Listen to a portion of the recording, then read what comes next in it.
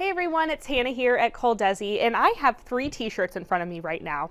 They are all the same type of t-shirt. They are white polyester Port & Company performance tees.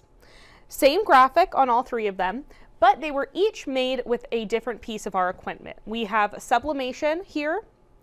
This tee was made with our DigitalHeat FX system, and this was printed with our DTG G4. So first of all, all three of these technologies produce amazing prints. Second, they're all designed to make you profitable whether you're printing one t-shirt or 50 or more t-shirts. And third, you can get them all at Coldesi. But there are a few major differences that we should talk about. So the first major difference is going to be cost of equipment.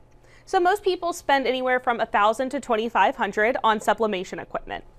For the DigitalHeat FX system or white toner printers, people can spend anywhere from six up to $15,000. And for DTG printing, people spend anywhere from 20 to 25,000. But financing is available on all the equipment. So let's jump into the next difference, which is going to be the process of creating each of these t-shirts. So for sublimation, you're just going to print your graphic on your sublimation paper. Then you can head over to your heat press and you can place your printed transfer right onto your t-shirt and heat press it. After it's done, your transfer will just come right off and your t-shirt's finished. The DigitalHeat FX system is similar to sublimation in the sense that you're not printing directly onto your t-shirt. So this is a two-step system.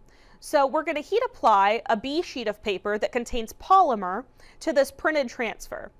Then after we do that, we can apply that transfer to our t-shirt. The t-shirt then needs to cool completely. We can rip off the transfer, but then we have to go ahead and do a finishing press. Now, direct to garment printing with the DTG G4 is different than DigitalHeat FX and sublimation because we're printing our graphic directly onto our t-shirt. But first, we are going to have to pre-treat our shirt. Then we'll have to dry our pre-treat with our heat press. And when this is done, we can lay our t-shirt right onto our DTG G4 and print our graphic. But this ink is not yet dry, so we'll have to take this shirt over to our heat press and give it a finishing press as well. Now this print only costs about 30 cents to produce. So if you're in the white polyester t-shirt business, then sublimation is the way to go. But the advantage with DigitalHeat FX, while this may cost a little more to produce, you are able to print on white and black poly as well as cotton. Now the DTG print cost and feels the same as the sublimation print, but you're able to do amazing prints on white poly as well as light and dark colored cotton. Now, other than white polyester t-shirts, sublimation also has the ability to decorate hard goods like keychains and other promotional products that have a special polyester coating.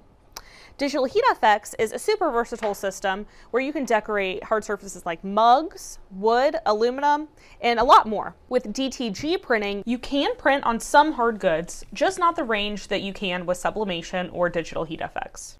Now again, all three of these machines produce amazing quality prints, and they're all versatile in their own ways. But it's all about determining what's going to be best for you and your business.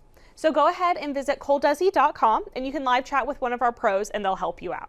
Thanks for watching.